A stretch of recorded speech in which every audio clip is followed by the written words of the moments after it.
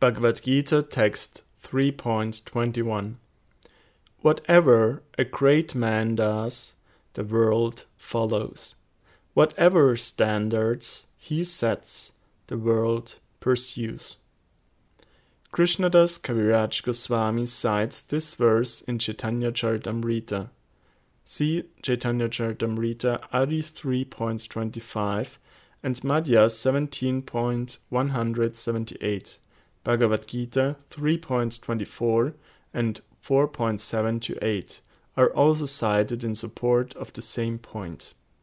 Gaudiya Vaishnavas consider Sri Chaitanya to be Krishna himself, who, in desiring others to love him in the intimacy of Raga Bhakti, realized that only he could bestow this love and that to explain it to others, he had to personally practice it.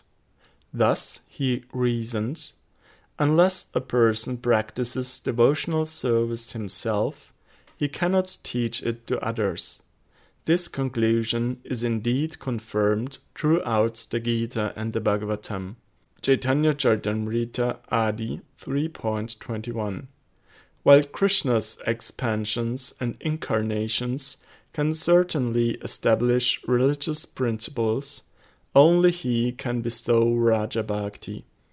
Desiring to do so, he descends as Sri Chaitanya, assuming the form of a devotee of himself.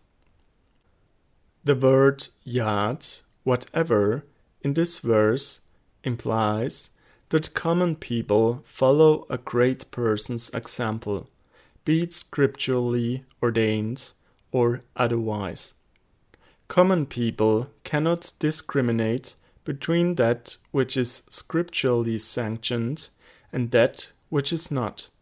Therefore, they are not able to dismiss what a great person might do that is not sanctioned by Scripture and accept scripturally enjoined actions as the proper course of action. Thus, they are in need of a proper example and great souls, although above Scripture themselves, should set this example.